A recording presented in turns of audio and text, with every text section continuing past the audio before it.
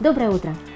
Доброе утро! Сегодня свой вариант вкусного кекса покажет Анна Мишина.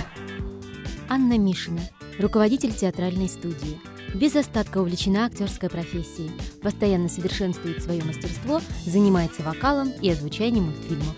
Женщина-загадка, воспитывает кошку Владу и обожает редкие, но яркие встречи с мужем.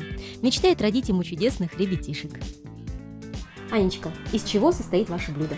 Мука, кофе, какао-порошок, сахар, разрыхлитель, молоко, яйцо и ванилин. Чтобы получить одну порцию, высыпаем в миску 3 столовых ложки муки, одну чайную ложку растворимого кофе, 3 чайных ложки какао-порошка, столько же сахара. Добавляем 1 четвертую чайной ложки разрыхлителя и перемешиваем.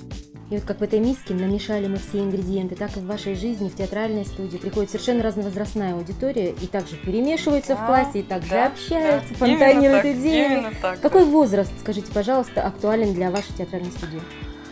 Ой, возраст у нас, группы бывают у нас разные. Бывают детские группы, бывают подросток, подростковые, а бывает взрослая группа. Туда ходят все желающие, ну, хоть в 30, хоть в 40, хоть в 50 лет. Занимаетесь с удовольствием? Да, конечно. Ну, как вы думаете, что дает им занятие в театральной мастерской? Ой, занятия им дают э, многое.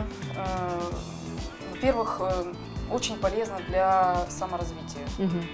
То есть это снятие психологических зажимов, угу. голосовых. Уверенность в себе, опять же. Уверенность в себе, да. Интересно себя вести, люди умеют на публике, что немаловажно в нашей жизни. Угу. Разбиваем одно яйцо, вливаем 2 столовые ложки молока, 2 столовые ложки растительного масла, всыпаем пол чайной ложки ванилина. Вымешиваем тесто до однородной сметанообразной консистенции.